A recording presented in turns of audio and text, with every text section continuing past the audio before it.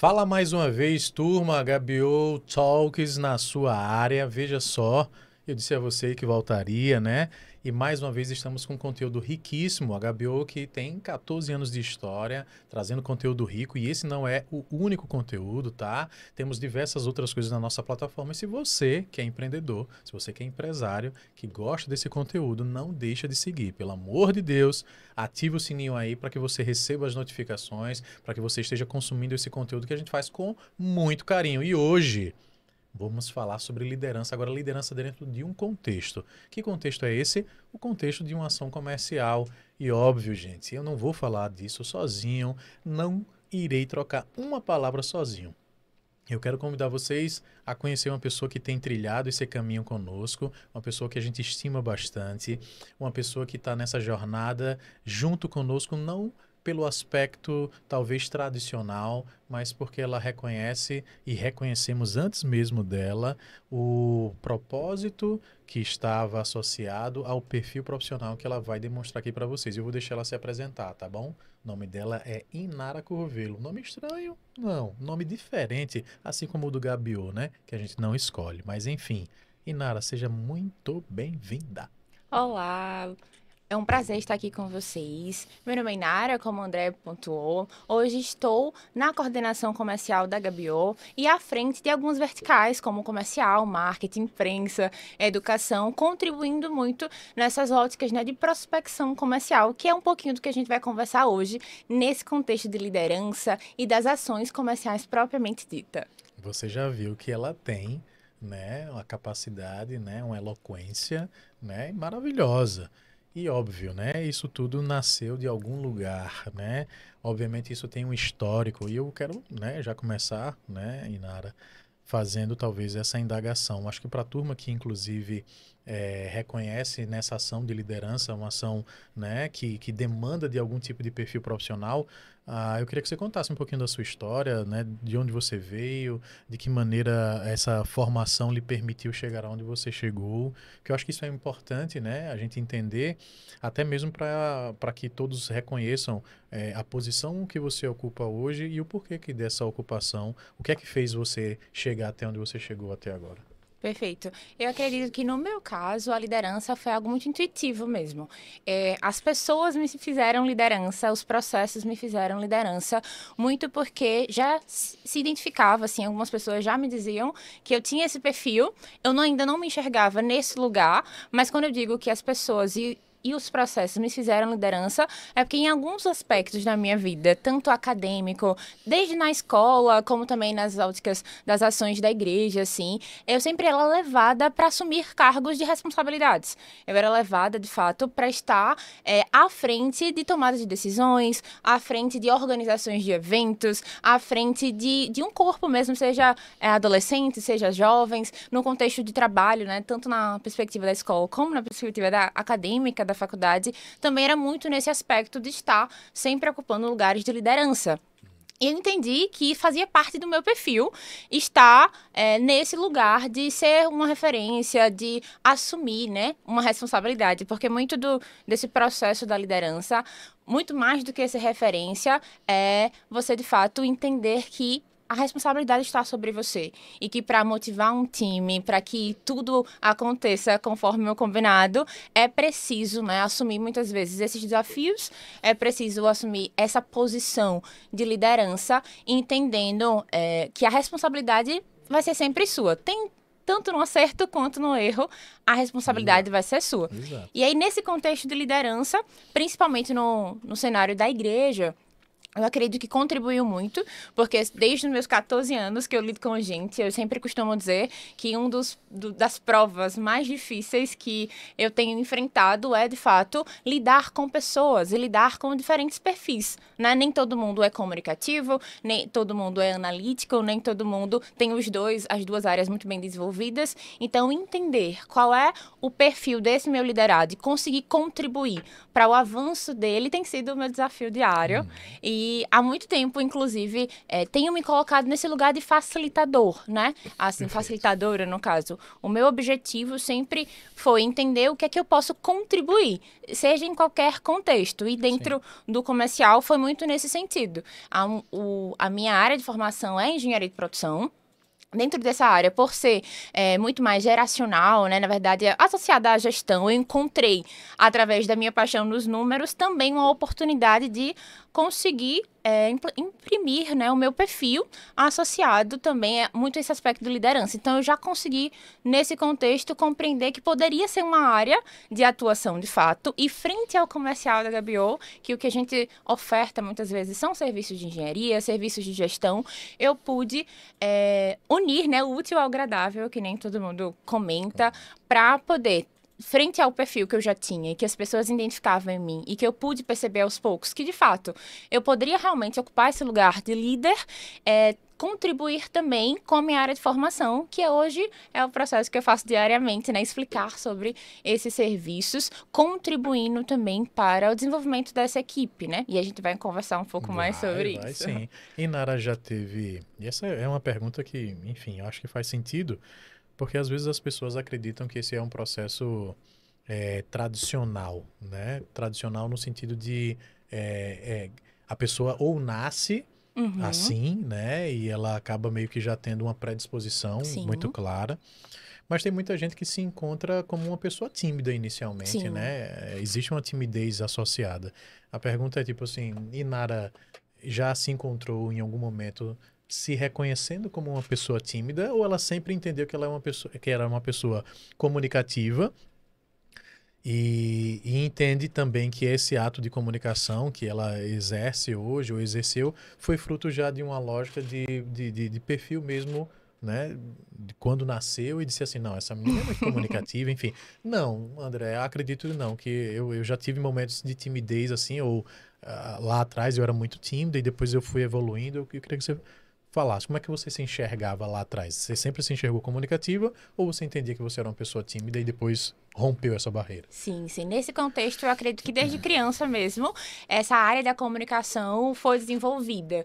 Eu tenho um contexto familiar que me possibilitou, dentro da escola, por exemplo, eu precisava resolver os meus problemas. Sim. A minha mãe trabalhava muito, é, então eu, eu precisava, desde o início, entender que ou eu me comunicava ao ponto de resolver os meus BOs, ou isso eu teria uma consequência mais grave dentro de casa. Então, desde criança, de fato, essa comunicação foi desenvolvida. Eu prestava atenção é, em conversas de adulto, eu queria estar é, em uma roda que tinha pessoas mais velhas que eu. Então, sempre nesse aspecto, é, eu me percebo como uma pessoa comunicativa desde a infância. Porém, essas questões de timidez na adolescência foi, foi traz...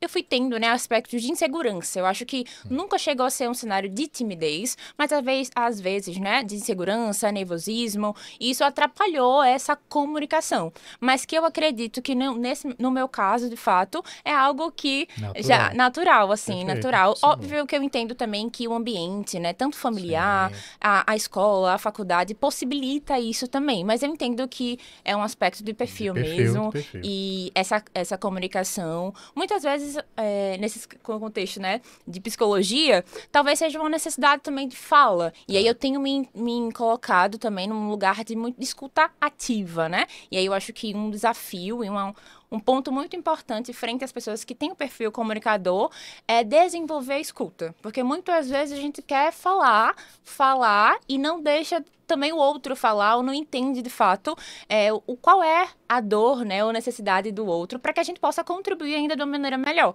E aí, nesse processo, acho que nos últimos anos eu tenho desenvolvido esse ponto de também escutar, né? É. E essas lógicas de liderança está muito associado a isso, perfeito, a desenvolver perfeito. a escuta. Ah, isso é bom, porque, veja, acho que talvez a próxima pergunta é, saindo agora do contexto mais pessoal, mas trazendo ele para um contexto profissional, né? Queria que você contasse um pouquinho dessa lógica da, da, da da sua trajetória, né? De como é que você caminha profissionalmente, desde o processo de formação, né? Uhum. Do porquê da escolha da engenharia, enfim. Você falou que gosta de números, enfim. Mas como é que isso lhe possibilita, né? Chegar onde você chegou. E eu Sim. acho que faz sentido para que as pessoas entendam, né? Essa, essa conjuntura casada do aspecto pessoal com o aspecto profissional. Como é que foi isso Perfeito. até o momento de você assumir literalmente a coordenação comercial? Perfeito. Nesse, nesse aspecto né, acadêmico em si, desde a escola, como eu disse, eu sempre estava à frente de projetos de teatro, à frente de apresentações de slide. Então, eu era o tipo de pessoa que corrigia o material que estava escrito e era a pessoa que apresentava. Então, muitas vezes era separado assim: eu tenho uma equipe, alguém vai escrever, eu fazia esse o processo de curadoria e a apresentação eu me responsabilizava em fazer. Então, desde o do início, é, sempre foi assim. Nesse contexto acadêmico, acho que algo que me possibilitou desenvolver isso ainda mais for, foram os movimentos voluntários.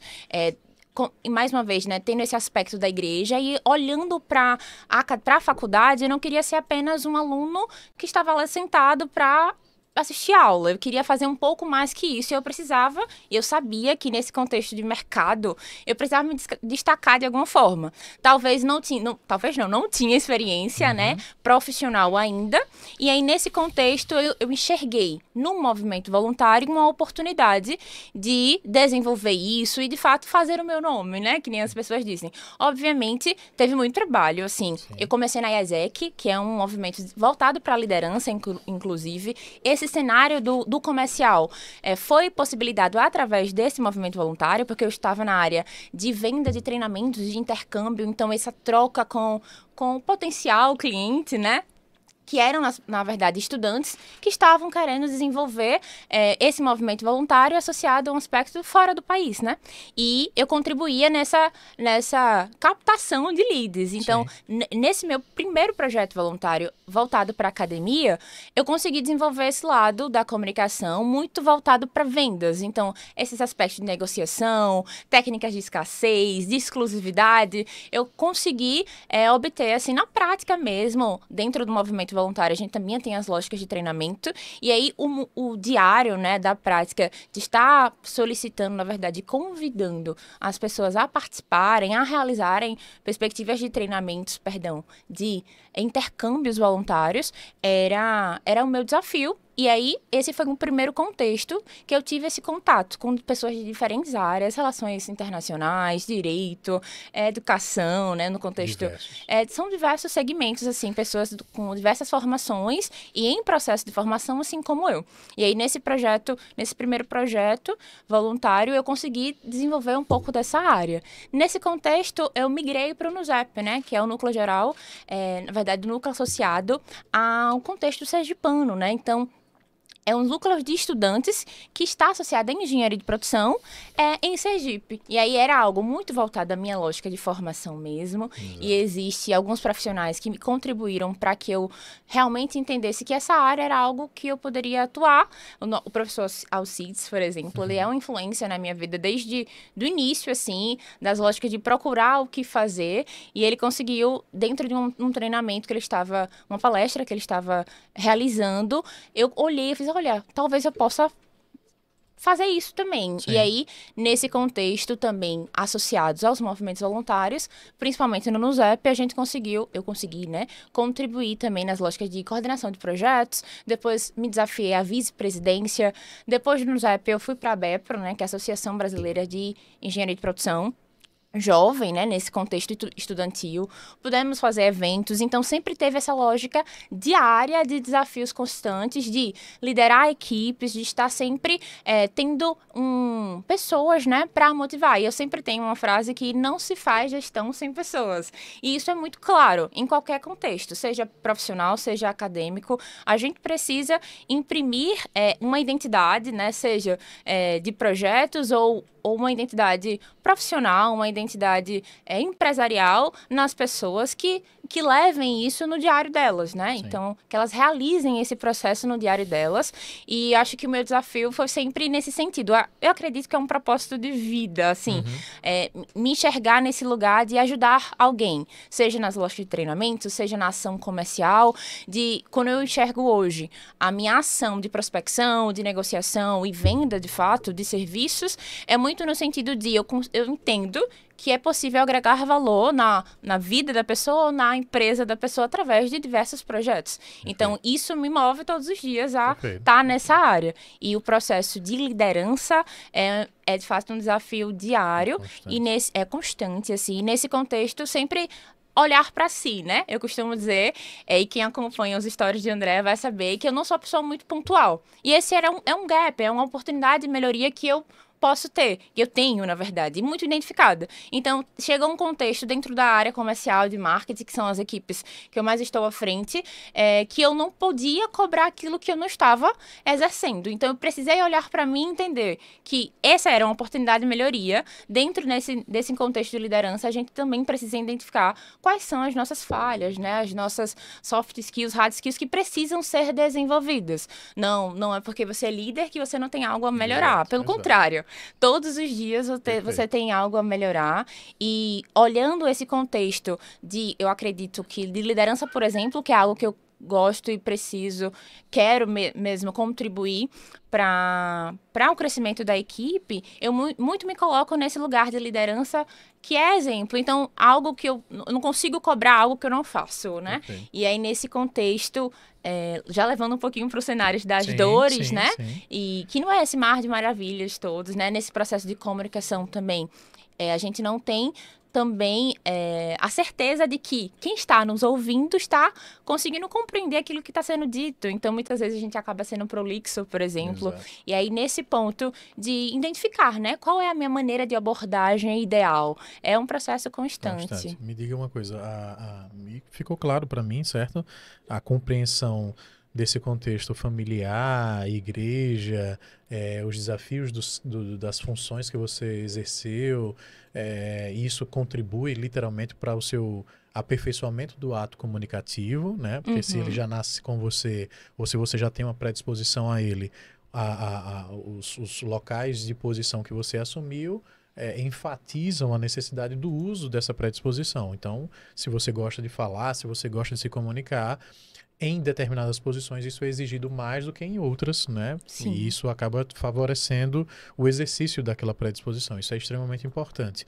Ah, e aí você passa a entrar nesse ambiente mais empresarial. Sim Entendo, né, que você então passa a assumir essas funções e acredito que nessa hora passa a ter novos desafios porque a ação profissional acaba sendo ali mais uma vez um momento onde você precisa pegar essas suas softs e hard skills e exercitá-las na prática. Hoje qual é a principal é, a principal dificuldade que você tem quando você olha para esse time comercial que você, né, e aí o comercial, o marketing como você mesmo ponderou né? Como é, quais são os principais desafios que hoje você acredita que tem é, e talvez como é que você enfrentou eles no início dessa sua jornada com esse time? Uhum. Eu acho que um time que eu posso dizer que talvez com mais é, tranquilidade era um time menor, uhum. mas foi um time também que cresceu, um time que chegou a um nível de estatura que hoje de fato é, é diferente de lá da jornada inicial. E eu queria que você contasse um pouquinho desse seu, né, dessa sua trajetória do momento em que você foi reconhecida como uma pessoa que poderia assumir até o momento de hoje, o que é que mudou, o que é que, o, quais foram os desafios que Inara precisou transpor, né? E quais são os desafios que, para além deles, você terá. Só que eu quero que você faça esse recorte. Primeiro fale até onde você chegou.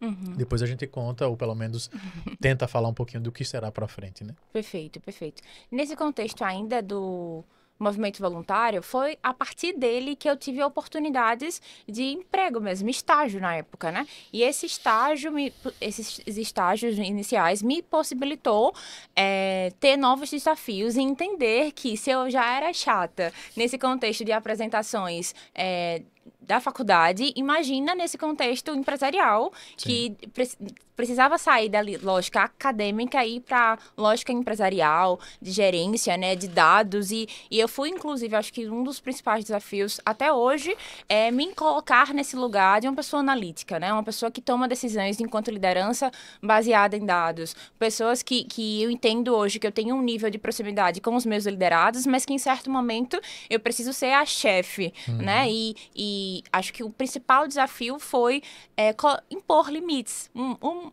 um, chefe amigo meu me, me, ensinou que de fato as pessoas precisam de atenção, afeto, limite. Isso é muito, muito real, assim, né? Se a gente não impõe limites, a questão de afeto e de atenção, elas ultrapassam e acaba sendo um desafio voltar, né, puxar a corda. E aí nesse ambiente assim de liderança foi, de fato, tem sido, né, é um desafio constante é, imprimir essa lógica de ser de fato parceria, porque a gente está realizando projetos que dependemos da ação dos outros, mas também ter esse aspecto de limite, de, de chefia. Não gosto muito da palavra chefe, prefiro a palavra líder, mas entendo que em alguns aspectos a gente precisa imprimir essas questões de autoridade mesmo, né? Não é impor mas é se enxergar e se colocar nessa questão de posicionamento, né? É, de de fato entender, olha, as entregáveis são essas, as metas são essas, e é necessário é, também, né, que haja essa motivação individual, porque eu acredito que motivação é algo que vem de dentro. E estímulos são coisas que os nossos líderes, a, o ambiente, a circunstância pode proporcionar. A motivação, ela vem de dentro. Todos os dias eu levanto da cama porque eu tenho um, um propósito, né? Eu tenho, talvez possa ser pagar boletos uhum. o propósito, mas talvez seja uma questão pessoal, talvez seja o compromisso com a empresa, enfim. Tem algum, muitos aspectos que nos faz, né, é, levantar mesmo e ir, né, realizar, enfim, cumprir as nossas agendas diárias. E um dos, dos meus principais objetivos hoje, entendendo que eu ocupo esse lugar de liderança, é entender que existem mais de 10 pessoas que olham para mim e falam assim: olha, qual é a estratégia do dia hoje? Né? Qual vai ser a estratégia da semana? Ó, as, tanto eu quanto as meninas, principalmente do comercial, elas têm metas diárias. Então, se eu que tenho as minhas metas, não estou cumprindo as minhas metas, como irei cobrá-las as metas delas? Então, isso é uma lógica muito, muito simples, né? E eu entendo que talvez nesse aspecto de, de chefia, não necessariamente faço o que eu digo, mas não faço o que eu faço. Mas eu ainda tenho essa prerrogativa de dizer assim: olha, já que eu estou fazendo, faça também, né? Porque talvez possa chegar uma lógica que precise.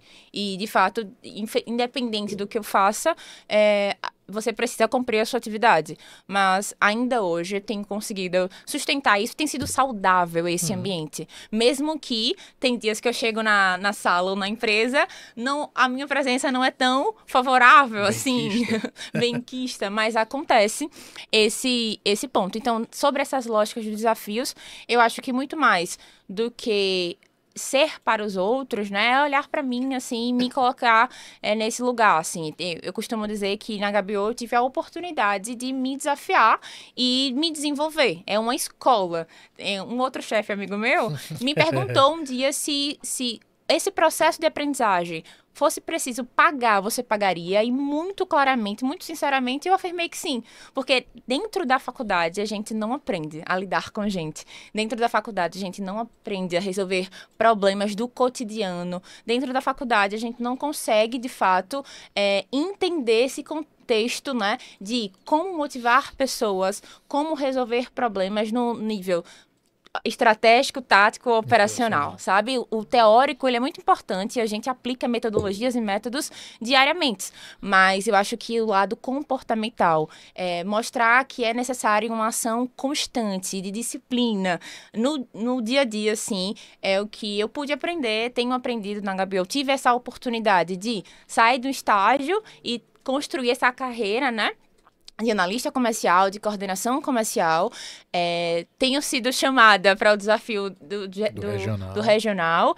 E isso, óbvio, que me assusta no primeiro momento, mas eu entendo que, além de ser uma oportunidade de desenvolvimento, são mais pessoas que eu vou poder também auxiliar nesse processo de crescimento. Isso. E aí, olhar para esse cenário de contribuir para os outros, me dá menos medo, dá um conforto, dizer assim, olha, a gente está indo no caminho certo, por mais que existam inúmeras dificuldades. E assim, é, no, no, dia a dia tem, tem dias que eu não tenho a resposta certa. Sim. No dia a dia tem dias que não queria estar ali realizando aquilo que eu estou realizando, mas é, faz parte né, do ofício, assim, faz parte do trabalho. Tem os ônus e os bônus, e diariamente eu sou convidada a ter uma resposta certa, diariamente eu sou convidada a, a se, se, a, se, a, nossa, eu acho que é muito sobre a identidade também da Gabriel, assim, se a, se a equipe acerta, a equipe, de fato, merece esse reconhecimento. Se a equipe erra, o problema é meu mesmo, né? Eu preciso assumir essa bronca e,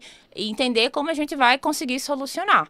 Já que a maioria de nós somos engenheiros de produção orientados a solucionar, né? Problemas. E a gente precisa ter isso, né, diariamente, assim, é como foco como mesmo. A, a, uma coisa que você vem falando é muito sobre o aspecto comportamental. Eu queria Sim. levar a nossa conversa agora, esse bate-papo, ah, para um ambiente mais técnico no sentido de processual. Sim. Né? Entender que o time, de fato, precisaria, sim, de uma orientação de como se comportar, de como evoluir, de como se posicionar em termos de, de conteúdo, de tarefa, enfim. Uh, eu queria que você me falasse um pouquinho sobre o desafio de implementar essas etapas que geralmente no comercial a gente ouve muito falar. Sobre o processo de mapeamento, sobre o processo de qualificação, sobre o processo que, dentro de uma ótica de funil, ele acontece. Sim. Né? Mas como fazer com que as pessoas passassem por aquelas etapas ao ponto de entender a importância de cada uma delas né? E quais foram os desafios então que você encontrou nesse ambiente processual? Perfeito. Certo? Perfeito. É, acho que é, é uma, uma característica assim, importante de dizer que geralmente nesse contexto comercial não se tem processos, talvez, né? As uhum. pessoas fazem porque tem o espírito de vendedor e está realizando aquela prospecção, aquela venda. Uhum. Dentro do contexto da HBO, de fato, a gente imprime um método, né? A gente tem um mecanismo é, para realizar processos é, comerciais, que começa de fato pela lógica de uma mapeamento. Então, assim como eu fui treinada, eu também realizo essas lógicas de treinamentos para que a equipe entenda o que é esse mapeamento? Quais são as lógicas de informações que eu preciso coletar desse meu potencial cliente que vai me fazer é, chamá-lo né, para essa reunião ou para essa é, nesse momento de ligação para realizar essa apresentação de projeto. Então, nessa, nessa cadência, né? E a gente chama dentro do contexto comercial, nesse fluxo de, de cadência que é para ser realizado o funil de vendas, que está como mapeamento, qualificação, que é a identificação da dor desse meu cliente, as, as, os aspectos de apresentação de projetos, até a lógica de fechamento. Então, imprimir, implantar implementar é, esse mecanismo, esse método dentro do comercial precisou de dois anos de, de muito esforço. Ah, Inara, então se só teve resultado depois de dois anos? Não necessariamente. A gente está falando de um contexto de performance, a gente está falando de um contexto de treinamento de equipe que levou para dizer assim, hoje eu tenho uma equipe autônoma. Hoje eu tenho uma equipe que ela chega diariamente e consegue entender o que ela precisa fazer, com metas muito bem claras. E eu acho que dentro desse processo do processo comercial, perdão pela redundância, um, algo que precisa ser muito claro são as lógicas de meta, né? Onde a empresa quer chegar?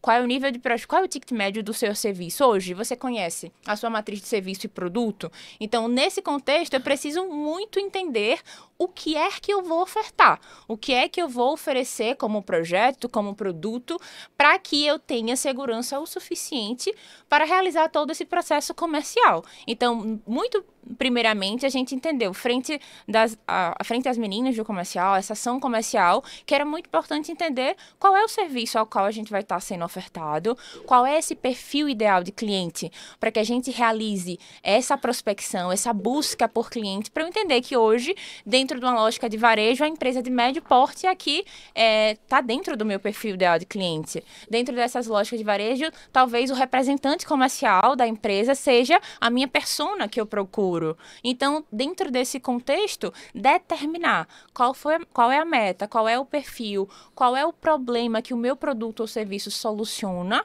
foi indispensável dentro desse processo para que, nesse primeiro estágio, né, nessa primeira fase de mapeamento, eu pudesse concluir essa atividade e também as meninas realizassem essa atividade com mestria, né? Com, sem dificuldade, porque é necessário muito ter clareza é, dentro desse objetivo, tanto empresarial como de metas comerciais. Ah, eu queria que você falasse um pouquinho sobre a questão do sair vendendo tudo e sair vendendo de acordo com a maturidade, que eu acho que talvez é, é, é importante para você que está nos escutando, né? Veja que a gente tenta, tem é, nesse bate-papo, eu estou tentando entender aqui quais foram os desafios que ela teve no sentido mais é, pessoal, comportamental, né? O que levou ela a assumir essa função enquanto líder, mas por outro lado, agora o aspecto técnico, que é o ato do líder implementando uhum. etapas, processos com outras pessoas que têm perfis diferentes e que ela precisava entender qual era o perfil e colocar essas coisas para funcionar. E aí ela começa falando sobre a ideia de ter objetivos, metas claras, um processo de mapeamento, qualificação, tudo isso muito bem definido. Só que depois as, acredito que as outras dores passam a ser dores que são tradicionais de uma equipe comercial, que apesar de enxergar essa técnica né, de maneira clara, ainda passam a ter comportamentos é, de vendas desestruturadas. E uma delas, a gente escuta bastante, é o conceito lá, né, que é o conceito de esteira de produtos e o conceito de escada, onde você tem lá um catatal de produtos, um catatal de serviços que podem ser vendidos e do outro lado você tem uma regra do jogo para ser ofertado, né? Como é que hoje você trata isso e de que maneira acho que você entende que existiu a diferença entre ofertar esti estilo esteira e ofertar estilo escada, né? Eu acredito que esse ponto, né, de identificar qual vai ser a minha escada de produto e não realizar um processo de prospecção de esteira foi o ponto-chave dentro desse processo comercial. Na implantação e implementação desses processos comerciais, tem também a lógica de cultura, dizer assim, olha, agora nós temos um padrão para ser realizado e eu entendo que dentro da nossa ótica, por já ser uma empresa de processos, isso facilitou, então as pessoas Exato. já tinham isso no DNA, vamos dizer assim, para conseguir compreender que existe um mecanismo para ser feito e o meu papel, óbvio, é contribuir para maximizar essa, essa produtividade, minimizar esse desperdício, seja de tempo, seja de burocracia de etapas, mas tendo um, um uma, uma fase, né? Cada uma em uma fase, tendo várias fases, na verdade, dentro desse processo comercial. E aí, nessa questão de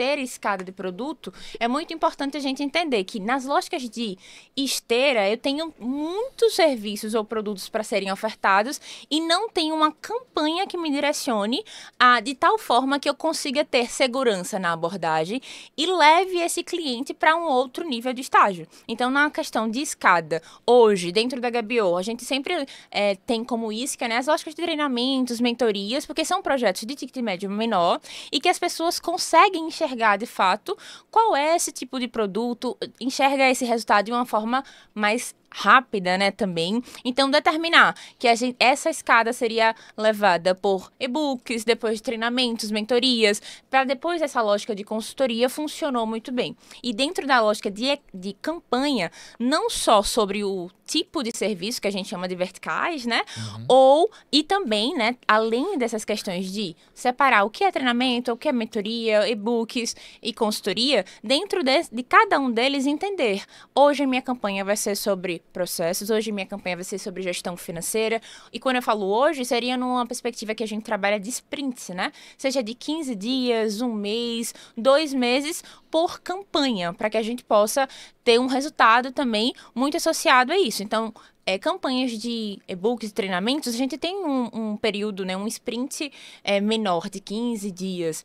Campanhas de consultoria eu levo um mês, dois meses, até três meses no máximo, entendendo e realizando esse processo comercial frente a essa campanha. Então, eu determinar qual é o meu serviço a ser ofertado e para qual área, né, qual é o tipo de serviço. Então, a área, de forma geral, seria consultoria, consultoria, mentoria, engenharia ou treinamentos. E dentro dessas lógicas, qual vai ser o serviço frente a cada uma dessa ver Dessa dessas verticais, né? E, e aí isso facilitou muito dentro do contexto comercial. E além disso, ter metas claras. E quando a gente fala em meta, a gente está falando de números, né? A gente está entendendo é, tanto no aspecto qualitativo como quantitativo. Eu quero ser referência em consultoria em até o final de 2023. E eu quero atingir o faturamento X. Para isso, eu olho a, contexto né, de ticket médio dos meus serviços para conseguir fazer essa divisão e entender qual é a quantidade de ligações diárias que eu preciso realizar, qual é o objetivo dessa minha ligação? É realizar fazer uma agenda, né? marcar uma agenda para apresentação de projeto. Então, dentro de um contexto, eu costumo brincar com as meninas de hoje eu posso ir à praia e vocês conseguem entender o que precisa ser feito. Claro que tem muito serviço para a gente fazer, mas nesse, nesse aspecto, assim, de entender e compreender o processo, é muito. tem sido, né? Tem sido muito bom, assim, a gente ter dedicado tempo mesmo para implantar e conseguir hoje ter um resultado melhor de compreensão desse processo. Muito bom, muito bom. A, a lógica ela é sempre satisfatória, né? Porque às vezes as pessoas entendem que as, a, a, expectativa é apenas o esforço, né? O desejo de querer fazer a coisa acontecer, é, o empenho que muitas vezes de forma comportamental a equipe imprime.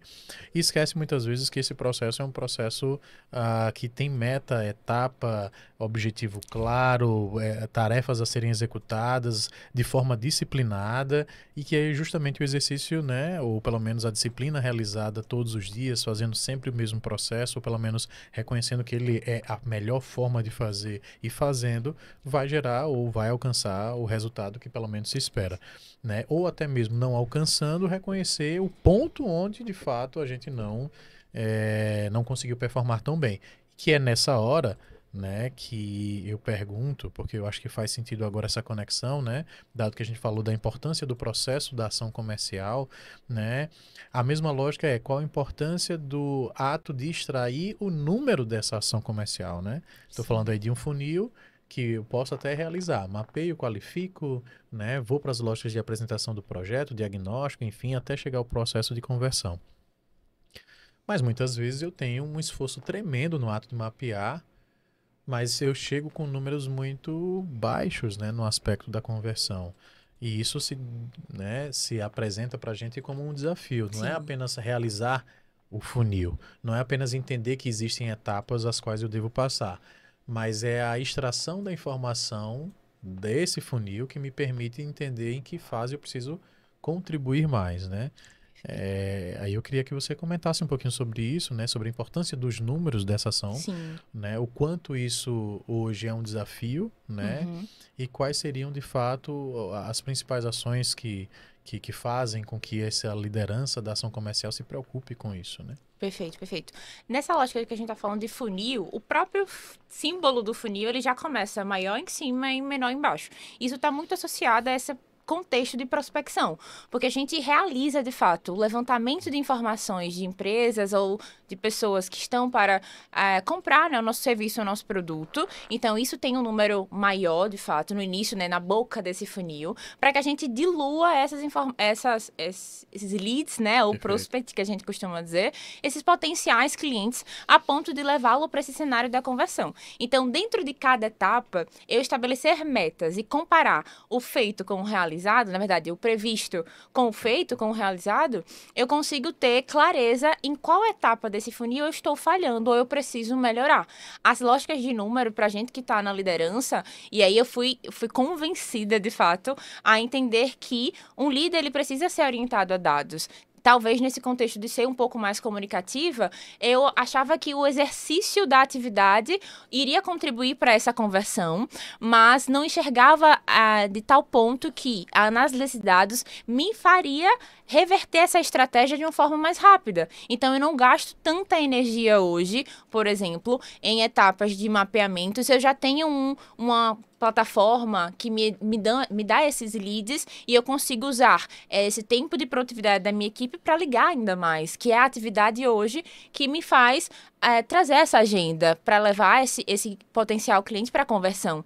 Então, essas estratégias, por mais, de, por mais que eu venha né, dessa área de engenharia, o perfil comunicador nos traz é, essa resistência no primeiro momento de tratar esses dados, né? Então, nesse contexto, é, é, uma briga constante entre aquilo que eu me formei e aquilo que eu realizo diariamente, porque como a gente vai falando né, sobre o projeto, o serviço, então a gente é levado a querer querer completar a agenda, assim, todas as horas da agenda, de Perfeito. tal forma que o exercício de, ah, eu vou falar mais uma vez, vou falar mais uma vez, e não ter essa, essa, essa tratativa, né? Essa, essa análise de fato de, poxa, Tal, por que, que não, a gente não conseguiu converter, realizou 20 reuniões e só converteu um? Onde é que mora o, o, erro, erro, né? Onde é né? que está o erro? Onde então, é que tá a lição aprendida? Perfeito. E aí, eu, assim, acho que na, no cenário atual dessa liderança tenham leva, sido levada a analisar cada vez mais esse contexto de dados para poder tá, dar, né, e ter uma estratégia ainda maior. E frente à diretoria, tenho se cobrada é, para isso. E eu acho muito importante também, né, a gente entender esse aspecto que é, tem um processo de performance, né? E Sim. a gente tá, a gente às vezes abre exceções de dizer, ah, não, mas eu ainda prefiro anotar na agenda e não usar a, o sistema de, de, na sua totalidade. Mas a própria pessoa, eu acho que eu fui um fruto disso. A atividade, né, o diário da dentro dessa, dessa ação comercial me fez entender que de fato o sistema estava ali para me ajudar, tanto na, nas minhas ações que ainda eu operacionalizo, como principalmente na gerência, né, das ações e atividades que as meninas e a equipe, tanto de marketing quanto comercial, é, realizam, né, no diário. E isso isso me co contribui, assim, para que eu possa enxergar de forma clara. Porque talvez por estar acompanhando e estar no diário, eu entendia que o processo estava sendo feito, talvez uma questão de script, técnica de abordagem, uma comunicação. Isso contribui muito, né? Essas, essas metodologias que a gente tem que facilita esse processo comercial. Mas a constância e essa análise frente ao resultado que aquele dado está me dando Sim. muito claro, né? Eu não, não, não sou eu falando sobre Exato. as ações, mas é o dado já falando, falando. por ele mesmo. Exatamente. Perfeito, Ah, ah, acho que talvez faça sentido, né? A gente entender um pouquinho, acho que melhor para aqueles que, aqueles que estão nos ouvindo, de maneira posso ter um empresário que já é maduro o suficiente para poder ou realizar as práticas ou entender que pode aperfeiçoá-las. Mas eu também posso ter aqui nos ouvindo o empresário que está começando essa jornada agora, uhum. que talvez chegou no nível de maturidade em que quer realizar essa ação da mesma maneira e que ele ainda não trilhou esse caminho e quer trilhar, né? A pergunta é o que é que dentro da sua ótica, por aquilo que, que você já vivenciou, até mesmo implementando em outros lugares, né? A gente já teve essa experiência de estar tá implementando em outros lugares essa ação comercial, né?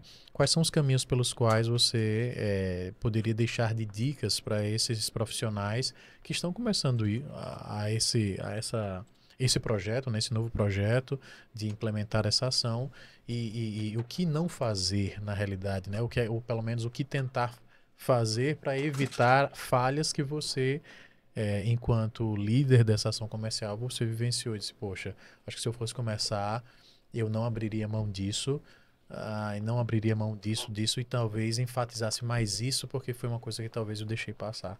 Que tipo de ação você poderia orientar? Perfeito. Nesse contexto comercial, acho que a gente sempre está muito preocupado com a venda. Sim. E a venda, de fato, é, uma, é o nosso objetivo no final. Mas ele precisa ser uma consequência. Ela precisa ser é, uma consequência no nível de eu tenho um serviço ou um produto que, que eu sei que pode agregar uma solução, pode Sim. agregar valor, e eu preciso imprimir nesse script, eu acho que num primeiro momento é, não faça uma prospecção de qualquer jeito. É, imprima um método. Talvez você não, não conheça as lógicas de receita previsíveis e uh, tem tantas outras no contexto comercial, mas ainda assim hoje, dentro da sua, do seu, da sua cartela de serviço ou produto, o que é que você enxerga aqui? É um produto de abertura que convida esse cliente a comprar esse serviço, esse produto. Então, talvez eu quero vender o iPhone, mas eu começo pelo fone, eu começo pelo carregador, porque tem um ticket médio menor para atrair esse, esse produto que é maior. Nesse contexto de serviço, então eu começo com um serviço de um ticket médio maior, que eu tenho, que eu dedico menos tempo para realizá-lo e talvez nessa nesse processo de abordagem, entender a quem o seu serviço soluciona, o que é que seu serviço soluciona, né? A gente sempre tem essa perspectiva de um problema, uma solução. É muito, muito claro isso. Então, eu não rearia nesse ponto de conhecer o meu serviço, o meu produto de tal forma, não somente das características dele, mas aquilo que ele pode solucionar. Então eu tenho que ter clareza mesmo naquilo que eu estou é, vendendo, né? De tal ponto de ter essa segurança na fala. Então, no primeiro momento, olhar para minha cartela de serviço de, de produtos ou, ou de serviço mesmo e entender qual é esse meu serviço é, cachorro, né? Que a gente, são algumas metodologias que a gente aplica hoje. Qual é esse meu serviço estrela? Então, o que é que eu vou ofertar, talvez de graça, no primeiro momento, para atrair esse cliente nesse processo de, de prestação de serviço ou de venda daquele produto, de entrega daquele produto que é gratuito, eu consiga levar ele para um produto é, que ele de fato invista, né? É, pague para recebê-lo, né? Tanto nessa lógica de serviço ou produto. E aí eu começaria nesse, nesse ponto, de estudar qual é esse serviço, qual é a estratégia que eu vou ter de chamar a atenção desse meu cliente para que eu possa é, ofertar algo que é mais robusto, que contribui para o meu faturamento no final do mês. E aí também é, proporcionar essa experiência, né? Eu acho que dentro dessas lojas de serviço, a gente não tem um produto que demonstre a qualidade. Hoje, dentro da HBO, a gente oferta e faz esse diagnóstico. Então, você que está nos ouvindo, se você precisar desse diagnóstico, é uma oportunidade também que a gente dá de, de conseguir contribuir dentro da sua empresa qual é a área que a gente pode realizar uma prestação de serviço, qual é a área que você consegue ter uma melhoria, né? Porque a gente oferta melhoria. E nessas lógicas de produto também, entendendo o qual é esse produto que eu posso usar como isca, mas que nesse primeiro momento vai solucionar algo, alguma dor desse meu cliente, para que eu oferte outros serviços. Então, no primeiro momento é fazer esse estudo do, do, do serviço ou produto, desenhar mesmo, gastar tempo em, em, desenvolver um script de abordagem de segurança, não para ficar algo mecânico. Olá, Sim. meu nome é Inara. Não, mas ser, ser algo que, que você consiga fluir e tenha um raciocínio de qual é a dor que eu vou solucionar com esse meu produto muito, ou serviço. Muito bom, muito bom. Bom, senhores, eu nem preciso dizer a vocês que o conteúdo é rico e é mais ou menos nessa pegada, tá? Esse é o nosso compromisso, né? Essa é a nossa dedicação, esse esse essa iniciativa que a HBO tem tido, né, de trazer esses tipos de conteúdo para você que é empreendedor, tem um objetivo, né, de demonstrar para vocês o quão podemos contribuir com o dia a dia de vocês. A ideia é que vocês consigam, é, consigam ao ouvir, é, levar para o dia a dia de vocês, para a rotina de vocês, é, esses macetes, essas dicas, né?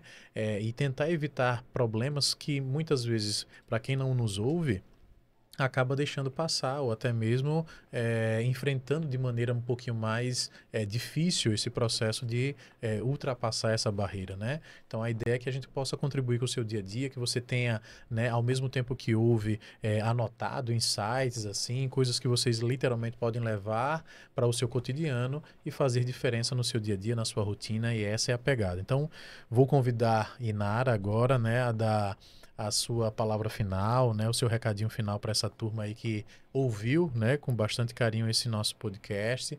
E a ideia é que a gente vá se despedindo, mas sim, lembrem-se, aqui não vai ser o último, pelo contrário, teremos diversos outros bate-papos falando sobre essa ação, né, da liderança, né, tanto os outros também falando sobre ação comercial. E você não pode perder mais uma vez, deixe aqui, ó, mais uma vez gravado ali o registro no seu sininho, para que toda vez que a gente lançar algum conteúdo novo, você receba em primeira mão, tá bom?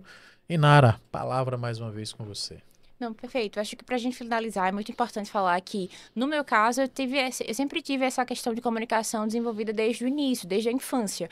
Mas nesses lugares, né, para ocupar esse lugar de liderança, não necessariamente você precisa já ter esse perfil. Eu acho que é algo ensinável, é algo que você consegue né, aprender, de fato, a ocupar esse lugar. Eu acho que muito. É, Existem essas frases, né, que o esforço supera o talento, e eu acho que isso é muito, muito válido, muito pertinente, porque porque de fato a gente pode até ter aptidão para algo, mas se a gente não tiver o esforço diário, a constância, a dedicação e a disciplina que é exigida, a gente não consegue talvez alcançar o nível é, de resultado esperado. Então, você que está começando nessa carreira agora de liderança, ou talvez que você já exerce esse papel de liderança há muito tempo, é possível aprender, sabe? A gente, eu sempre me coloco nesse contexto e nesse lugar de aprendiz nesse processo. Entendo que tenho, estou iniciando a minha carreira, mas também acredito que independente do estágio de carreira que você esteja, é, aprender e se desafiar a ocupar lugares, né? Desafios cada vez mais altos, seja uma questão horizontal ou vertical. Talvez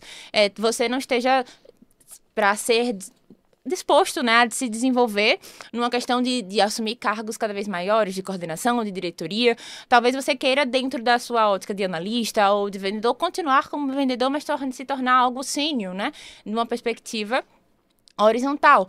Mas, e isso também é válido, sabe? Eu acho que muito desse contexto é de entender quais são as suas fortalezas, quais são as, sua, as, suas fraquezas e buscar, de fato, essa melhoria constante. Acho que um chefe amigo meu também me ensinou que a gente precisa é, aprender diariamente, porque hoje a gente tem uma metodologia, amanhã ah, sai uma metodologia nova que a gente precisa comer livro. Exato. E é exatamente isso, sabe? Seja nas lógicas de treinamentos, podcasts, seja as questões de, de livro, literatura mesmo sobre aquele assunto, mas não deixar de se aperfeiçoar e entender entender que, independente da posição que você esteja, é muito importante você ser preocupado com pessoas, sabe? Eu acho que uhum. um diferencial de um líder é continuar tendo essa, essa postura humilde, sabe? Não é humilde no sentido de se acovardar, mas humilde no, no entendendo que é, o avanço é da equipe, a, o sucesso é da equipe e você pode até contribuir para isso. E o seu sucesso vai ser um, o sucesso, sucesso consequente, né? É, é detrimento ao avanço e o crescimento e o desenvolvimento que a equipe tem. Então, assim, falar sobre liderança, falar sobre o comercial é o meu diário, assim. Tenho me surpreendido nessa área, tenho me desafiado todos os dias, mas tenho aprendido também diariamente. E aí eu convido você a continuar a acompanhar, de fato, né, o podcast e agradeço por essa oportunidade de estar conversando sobre um tema tão importante. Isso, bom, isso mais uma vez. Tá vendo, gente? Nem doeu e foi maravilhoso. Mais uma vez, ativa o sininho, recebe conteúdo, poxa, riquíssimo para o seu dia a dia e não deixa de nos acompanhar aqui nesse canal, que é rico em conteúdos, naturalmente que é feito para você, tá bom? Abraço mais uma vez, meus caros, e nos vemos no próximo Gabriel Talks. Tchau, tchau.